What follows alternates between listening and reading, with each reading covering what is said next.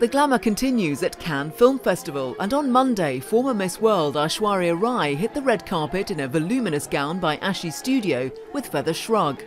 Isabelle Adjani accessorised her black Vauthier gown with a battered straw hat.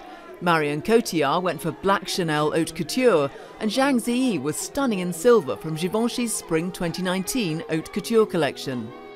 At the Chopard dinner on Monday night, she changed into a scarlet gown by Atelier Versace, and model Natalia Vodianova chose the same collection. Elle Fanning wore a 1950s Prada prom dress with Chopard jewels.